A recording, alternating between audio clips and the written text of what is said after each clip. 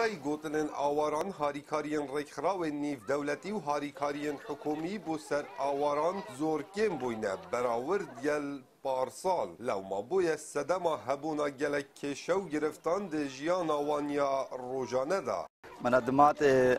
niha mesele bi çekê kêm bûne. Neweka berêj niha bîtir bûn. Tiştê sehiyat berê her mehil vê derê wezan dit hane vê derê. Niha ne her mehtên û ke herem jî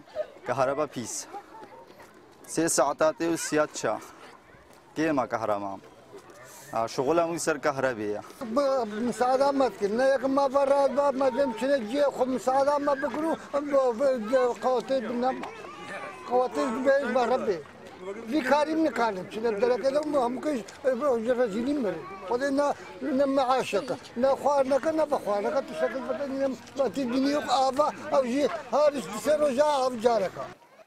Hervasan nebuna derfetin karî bandora krîza darayı boye sedema ve çende ku zorbeyî gencan kutabhanın xobcih pêlin O dest bi karê kirêkariyê biken. هر وکی او دنه خویا کرن کو چر ریکه چارنینن جبر کو روشا آبوری گلک لاواز بویل لوما او نچارن قطاب خانن خو جه پیلن مدرسه هیلانش حالی فیس حالی فقیلی الجحلم كسا قدينا ما علم ده بشغلة هراني نداكو بعد المدة شو لكن إلا أسبوع مشول مدرسة دي هيلم إيش إيش في حالة فقير في حالة بلنقاس إيش بركة مهاجرين سفاس شمتوستم هلا جبر گم فقیر بون کسی که منی نچشولی بوم ما ما پرینی نه و کس پری ندم جبر هندم ترک مدرسه خو گلک هنر گلک حوالم هنر هندی تو بچه حوالم هنر چنم کاش بلنگازیش فقیره هلا نه راحت بکه